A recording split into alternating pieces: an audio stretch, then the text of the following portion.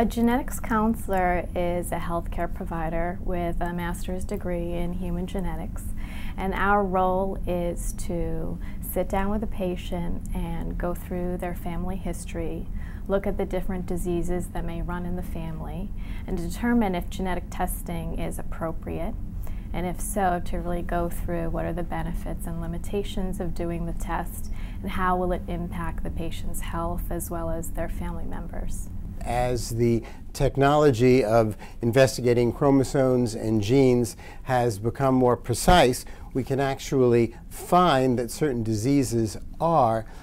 associated with certain specific genetic mutations. Where we can find a genetic mutation, we are then able to say to a patient, you have a high probability that you will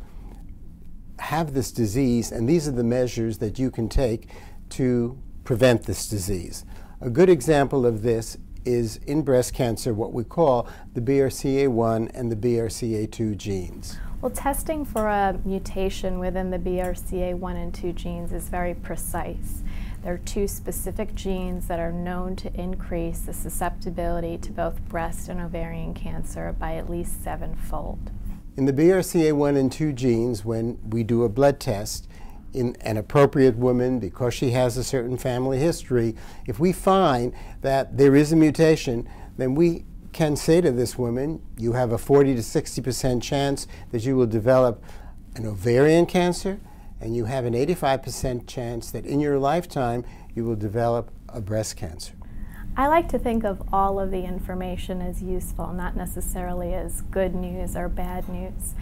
And the reason for that is that even if a woman has a genetic susceptibility to cancer, the ultimate goal is to prevent the onset of that cancer, and that is really the highest aim of medicine. So I feel that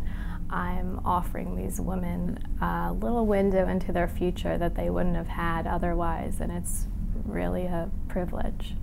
One of the major reasons that patients often come to us is to find out about their children and whether their daughters would be at risk for developing breast or ovarian cancer as perhaps they did.